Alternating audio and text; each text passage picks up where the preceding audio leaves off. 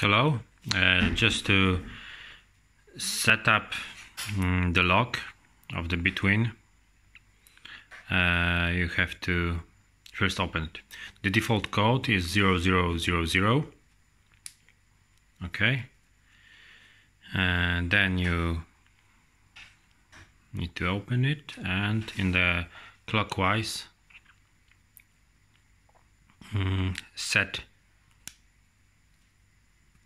this arrow chain stuff. Till it clicks. Then you set up your code. And uh, for example one two three four. Then you rotate the anti-clockwise the lock mechanism. And now the new code is set. It will be one two three four so you have to rotate it to the left to set it up to the end. Thank you.